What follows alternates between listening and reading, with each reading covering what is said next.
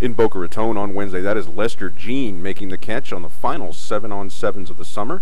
Jean made one of the few catches because shortly after the start, well, the rains came, and that sent the team heading to the locker room and pretty much ended the workout. Despite the rain out, though, quarterback Rusty Smith is pleased with the way the summer went. Definitely not the way we wanted to end it, but uh, maybe it'll work out for the best. Give the guys a little bit more extra time to get their legs rested up before camp.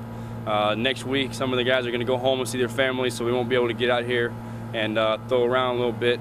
So, um, you know, we had a really good summer. We uh, we ended strong. We had some really really good seven-on-seven sessions where a bunch of guys came out and uh, got some improvement done. So that's very good for us to end the summer on the upswing. So uh, it wasn't what we wanted to end on a rain on a rain out, but uh, you know it happens.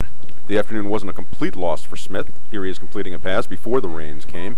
And apparently the summer was pretty beneficial, especially to some of the younger players who are going to see time in the fall. It was fun though. Uh, I like seven on seven. Actually helped me learn the passing plays and help with my uh, catching or something. You know, I have to work on still. So a little bummed out that uh, it's kind of done. That you got rained out on your last day. Or? Uh, no, I'm not bummed out because you know camp's finna start, so we're gonna get right back in it. So I'm not worried.